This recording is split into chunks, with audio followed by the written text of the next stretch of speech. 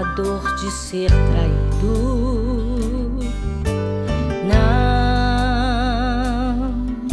é fácil carregar passado sofrido, a dor.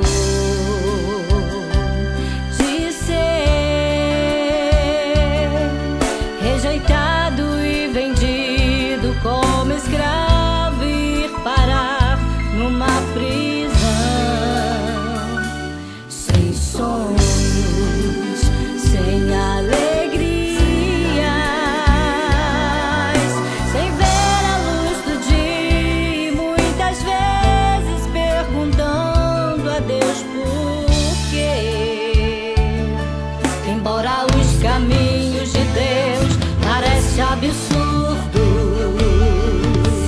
Ele tem em suas mãos todos os projetos seus.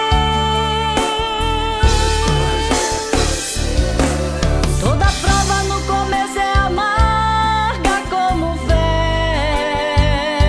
mas no final tem gostinho de mel.